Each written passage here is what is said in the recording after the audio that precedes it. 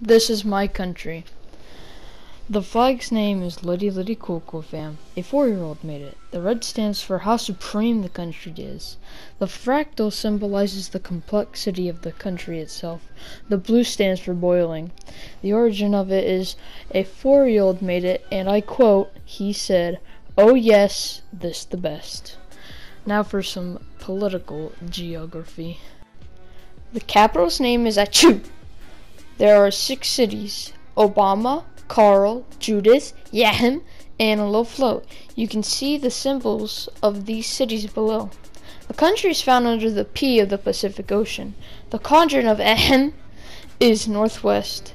A nice historical site is when Obama did the first backflip. What a trooper. And here's the map.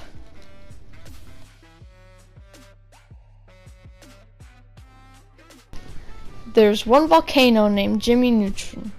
In the middle of the country is a glacier called Icy Boy. Ahem has the world's largest copy of the Declaration of Independence, which Nicolas Cage tried to steal multiple times. The water around Ahem has bioluminescent plankton.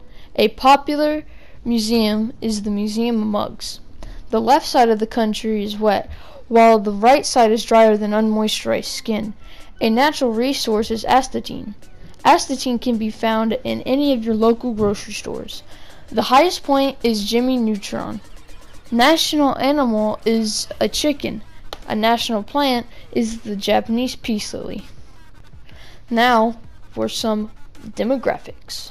We're all him and the government just hides it from you. Him has a thousand three hundred and twenty-three people living there currently most of which the population lives in low float. Famous people are Bruce Willis, Mark Chander, Martin Goodman, and Bruce Wayne. The main language is English. Transportation is mostly cars, but no Teslas. The political system is democracy. The country is governed by smaller local governments. Now for some customs. To propose to someone, you must slap them on the left cheek. Every day you have at least a cup of boiling water. For an hour a day, people scream to get all their anger and anxiety out so they don't release it on the public. To divorce, you slap your partner on the right cheek.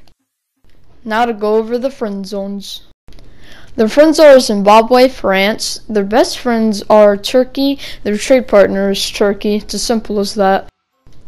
In conclusion, this is a cool place to visit with all the sights to see, and with all the different customs. Now for the national anthem while a guy eats cereal.